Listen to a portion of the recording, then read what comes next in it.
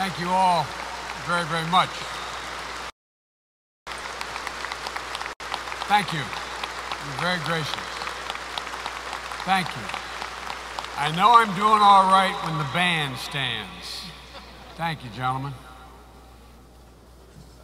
You know, uh, I say to the parents and grandparents and siblings, uh, you'd think Syracuse would have learned by now.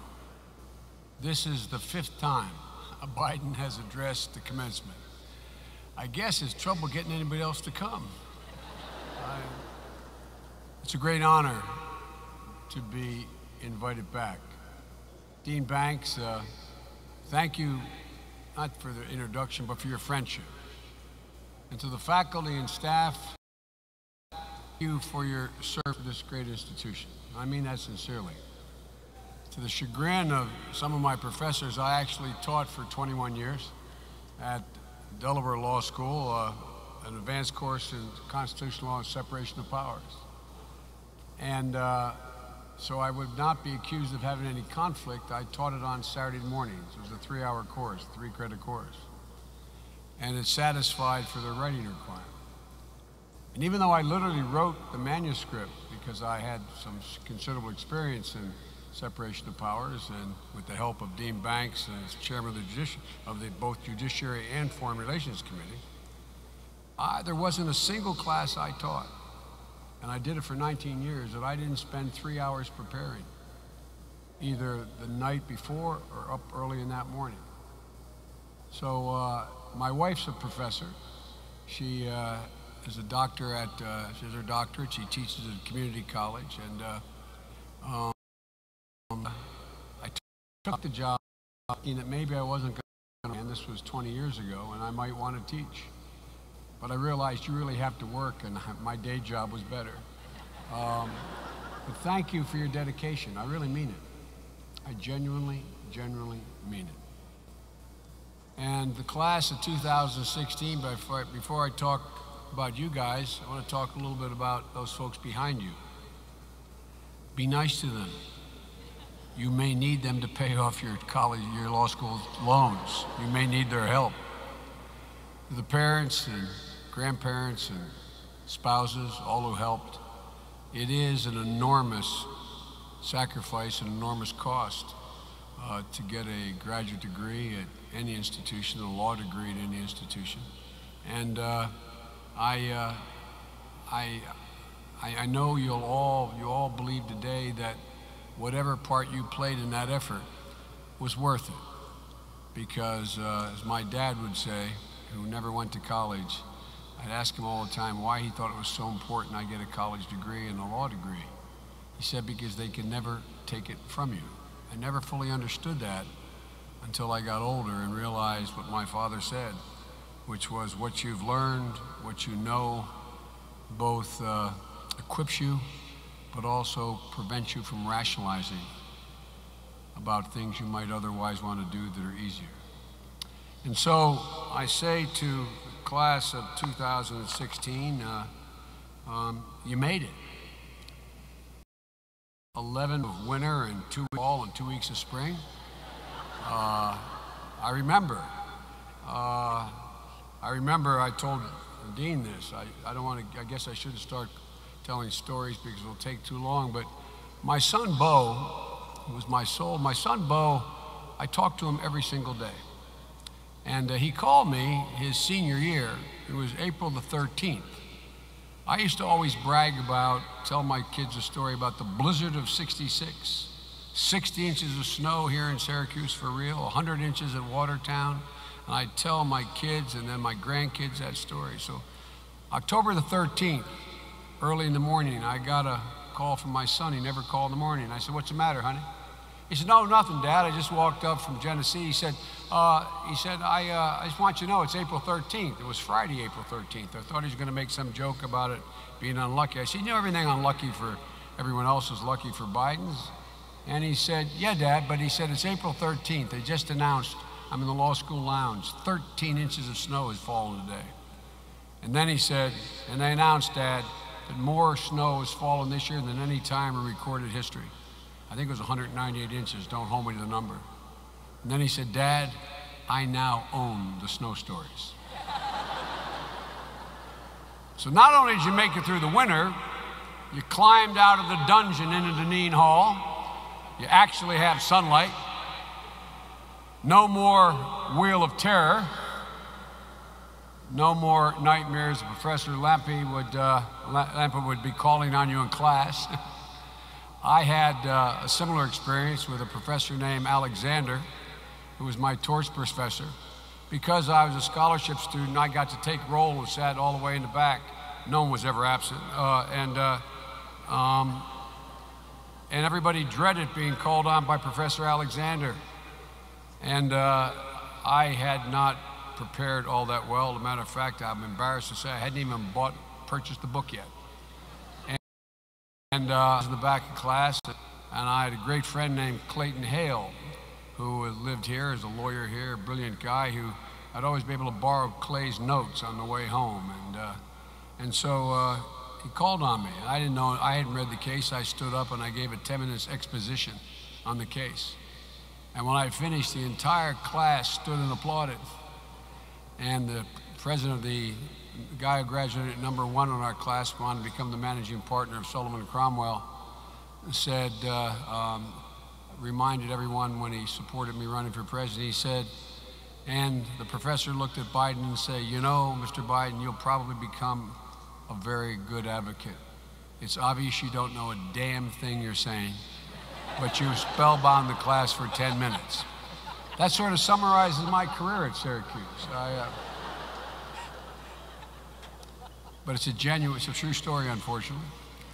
He went on to be dean of a law school on the West Coast. It's a genuine honor to be back at a place I love.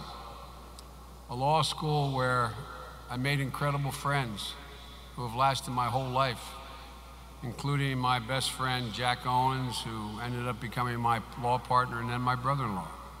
Bob Osgood, Don Parsons, Clay Hale, Eddie Moses, Joe Watt, John Covino, Don McNaughton, who named the uh, facility after his mom, and so many others. This law school educated and stood by me throughout my career. Professor Tom Maroney, I don't know, I told he may be here one of the finest guys I've ever known. And where are you, Tom? Stand up, man. Stand up.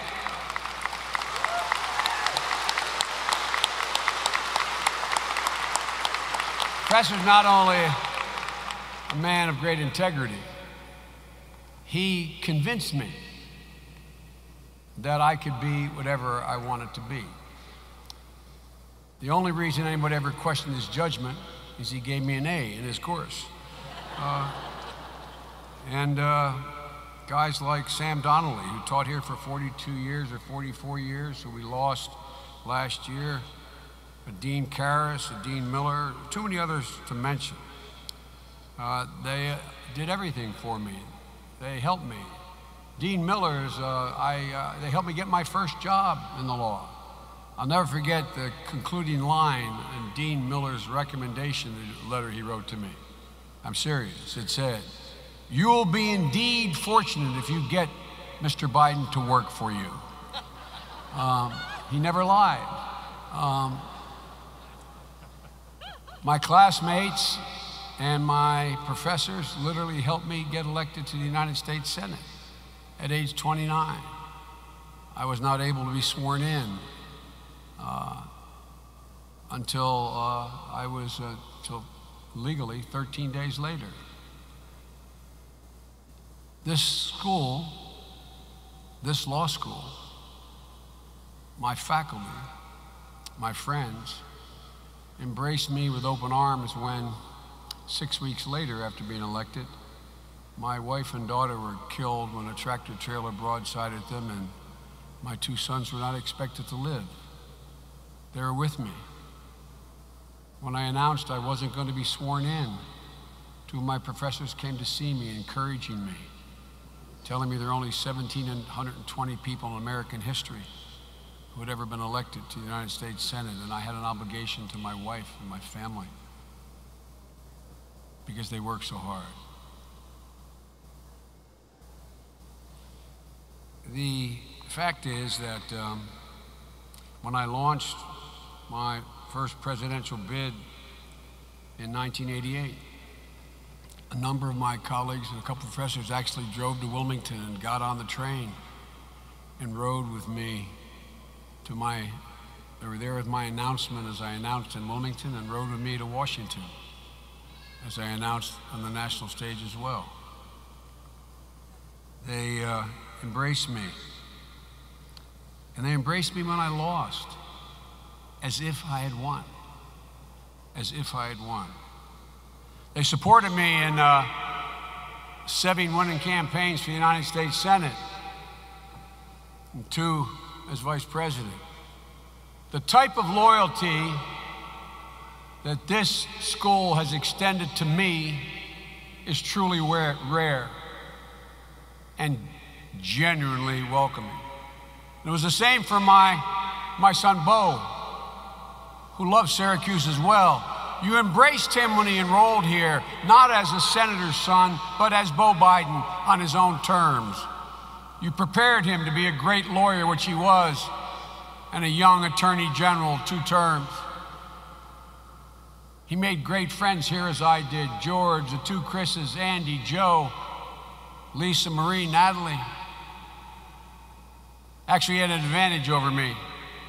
Half his class, like this class, was women. We only had one woman in our graduating class. And the profession is so much better off now. The bench is so much more competent now. And the school is so much better now.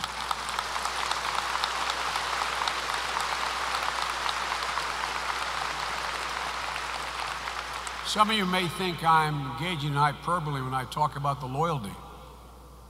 But Bo's friends were there when, as a sitting attorney general, he sought an exception to be able to go with his National Guard unit to Iraq.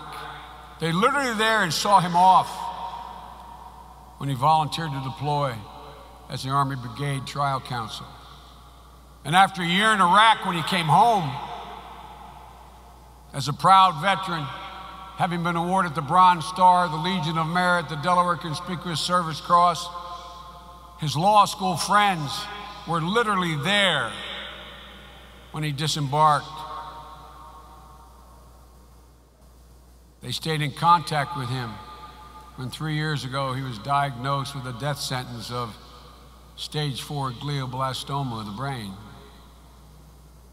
They visited him whatever hospital he was in, whether it was in Texas at one of the great cancer hospitals or at Jefferson in Philadelphia or at Walter Reed at the end.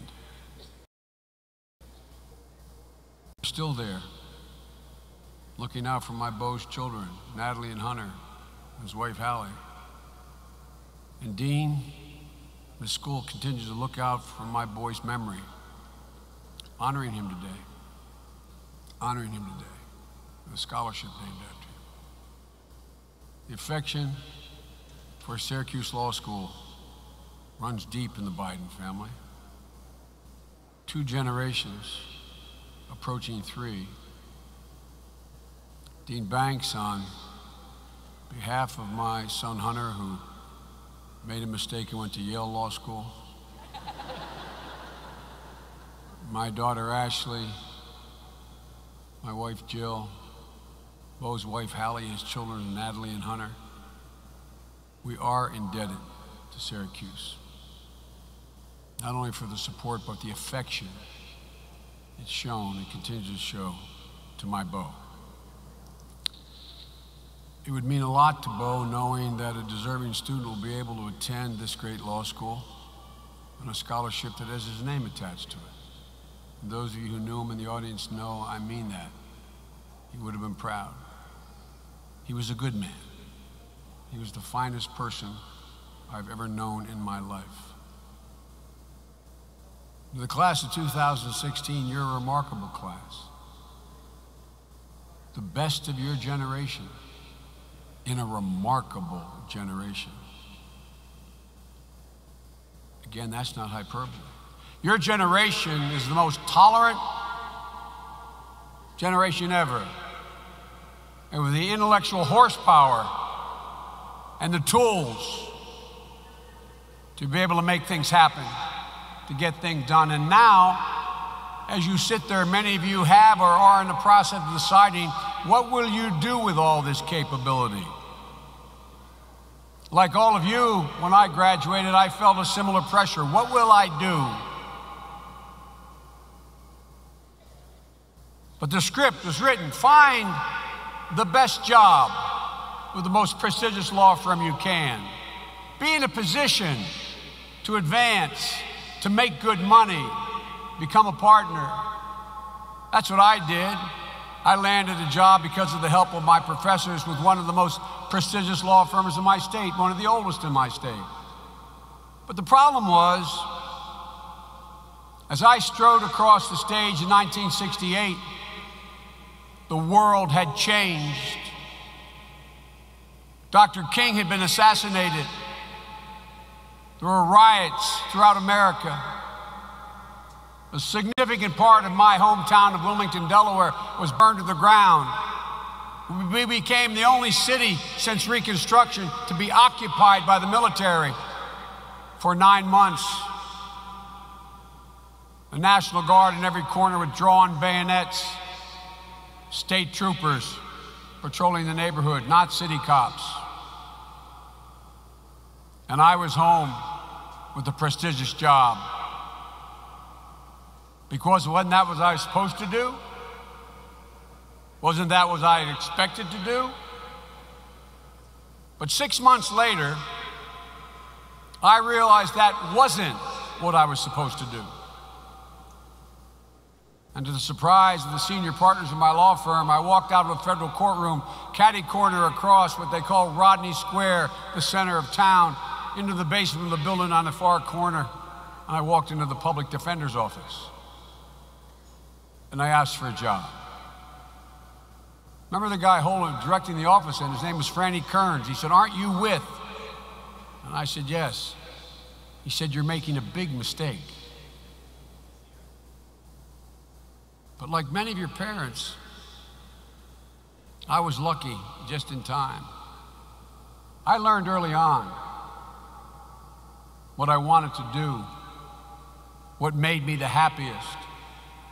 Family, faith, being engaged in the public affairs that gripped my generation when I graduated. The civil rights movement, the environmental movement, the women's movement, ending a bitterly divisive war in Vietnam. Now it's your turn. It's your time. Time to attempt to find that sweet spot where success and happiness intersect. And it's not easy. Some of you will go into uh, and onto powerful law firms on Wall Street, government service, prosecutor's office, public defenders. Some of you will take the knowledge and be successful entrepreneurs representing and represent nonprofits. Some of you will serve in the military. Some of you will go back to your home countries and risk, risk your lives for the rule of law. But all of you will have one thing in common. You'll all have to figure out how to balance success, happiness, and ambition. I've met an awful lot of successful people. I've literally met every major world leader in the last 42 years. Personally met them. So many others. People who, by any standard, are considered success. But I've observed, as I've gotten to know many of them, a significant number of them are not happy. I've worked with eight presidents. Only 13 senators have served longer than me in the entirety of American history. Industry leaders, the Sicons of Silicon Valley, high powered lawyers, doctors, nurses, teachers, social workers. And I made several basic observations that I hope will help you. Those who I observed who achieved both success and happiness, those who balanced life and career, those who found purpose and fulfillment, they all understood that there's no silver bullet, no single formula, no reductive list. They all seem to understand that success and happiness do not result from a single thing. They result from an accumulation of thousands of little things with the common feature that they built their character. First, the successful and happy people I've come to know understand that a good life at its core is about being personal, being engaged. It's being there for a friend or colleague when they sustain an injury in an accident, remembering to congratulate them on a marriage or birth, being available to them as they're going through personal loss or failure. It's about loving somebody more than you love yourself. It seems to all get down to personal. That's the stuff that fosters relationships and the only stuff that breeds trust in everything you do in life. The way you earn trust. And I mean earn trust. So try to look beyond the character, caricature of a person. Resist the temptation to ascribe motive. Because the truth is, you never know a person's motive. And if you ascribe motive, it makes it incredibly difficult in ever establishing, to establish a relationship. It gets in the way. Resist the temptation to let network be a verb that saps the personal away, that blinds you to the person right in front of you, their hopes, their fears, their burdens. Build real relationships, even with people with whom you vehemently disagree. I promise you will not only be happier for it, you will be more successful.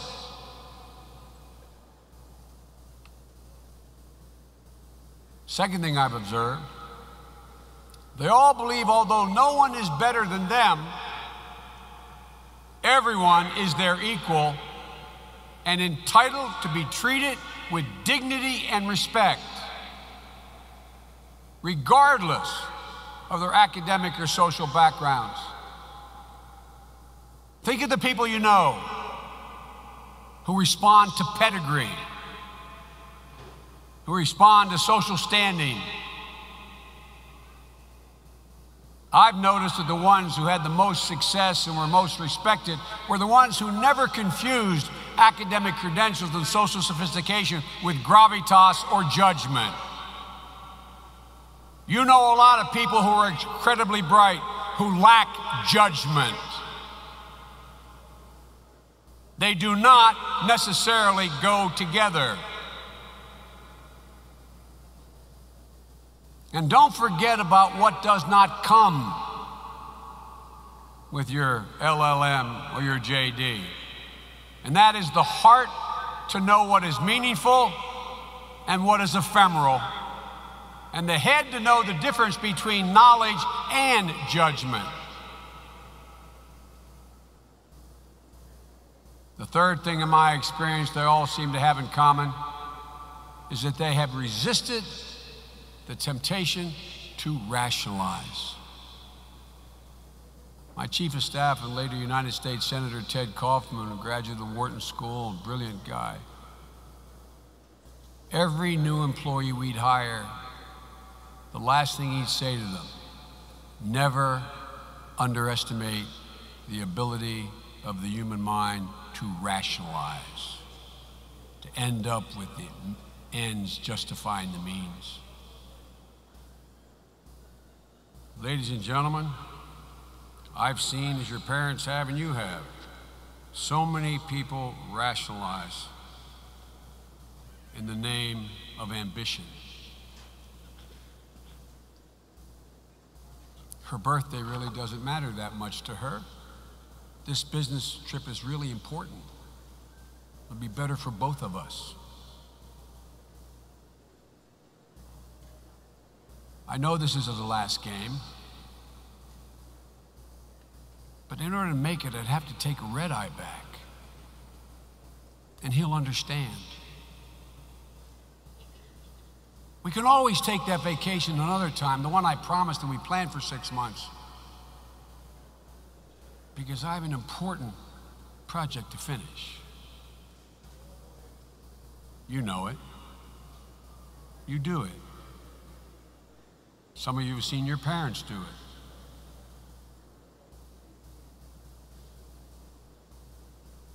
And resist the temptation will rationalize what others view as the right choice for you instead of what you know is right, what feels right, what feels right in your gut, based on what's important to you. Let that be your North Star. As I've said at other graduations this year, I know your generation faces an incredible amount of pressure to succeed now that you've accomplished so much. Your whole generation faces the same pressure. This remarkable generation. You race to do what, other think, to what others think is the right thing in high school, the right courses to take. You race through the blood sport of college admissions and law school admissions. You race through Syracuse Law, ready for the next big thing.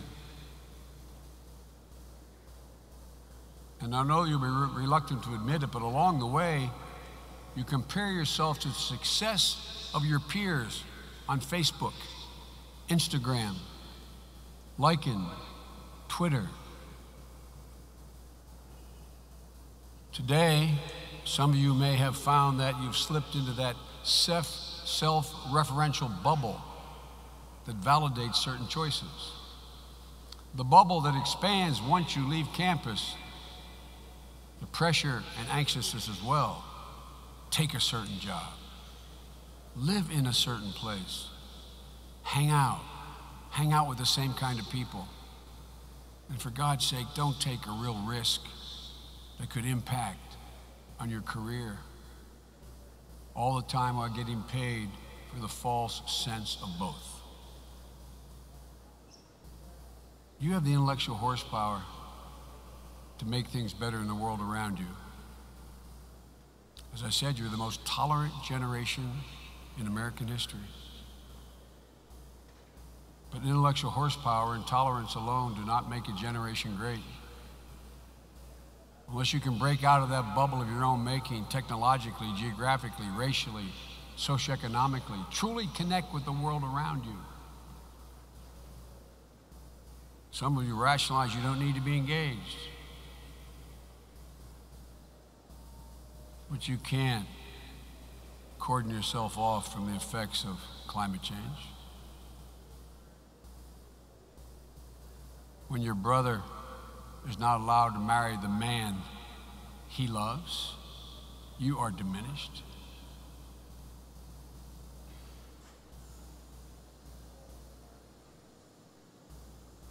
You know, I think, and I'm not just saying this, I think my son Bo said it best when he was the commencement speaker here as Attorney General in 2011.